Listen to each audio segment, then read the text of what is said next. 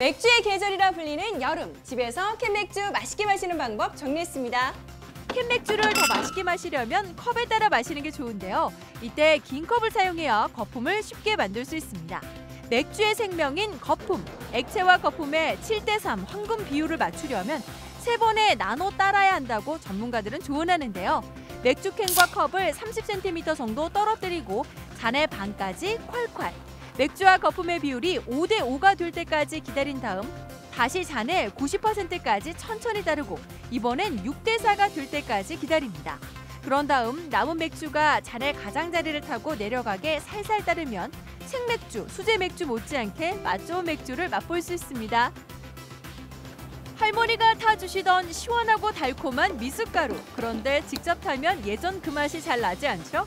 할머니 맛 그대로 맛있게 미숫가루 타는 법 정리했습니다. 미숫가루는 물보다 우유나 두유에 타는 게 맛이 더 좋다는데요. 물에 탄다면 그냥 맹물보다 보리차에 타는 게 더 맛있습니다. 또 설탕 대신 꿀, 소금을 조금 넣으면 더 고소하게 즐길 수 있다는군요.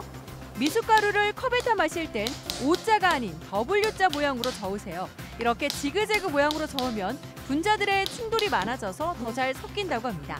통에 타 마실 땐 어떻게 해야 할까요? 재료를 넣고 흔들면 가루가 뭉치지 않고 재료들이 잘 섞여 맛이 훨씬 깊어진다고 합니다. 미래엔 이런 제품이 나오겠지라고 생각했던 상상이 현실이 됐습니다. 다양한 종류의 메이크업 브러쉬 매번 씻기도 어렵죠? 그래서 발명됐습니다.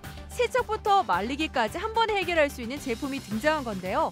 돌아가는 손잡이에 소를 끼우면 세척과 건조가 동시에 된다고 합니다. 더 간편한 제품도 있습니다. 기름기를 없애는 드라이 샴푸처럼 솔에 뿌려 쓰는 전용 샴푸인데요. 가루를 솔에 뿌리면 묻어있던 이물질이 달라붙어서 털어내기만 하면 됩니다. 손톱 물어뜯는 분들에게 반가운 소식이 될까요? 햄버거, 피자 영수에 이어 치킨맛 매니큐어가 나왔습니다. 허브맛, 매운맛 두 종류인데 100% 먹을 수 있는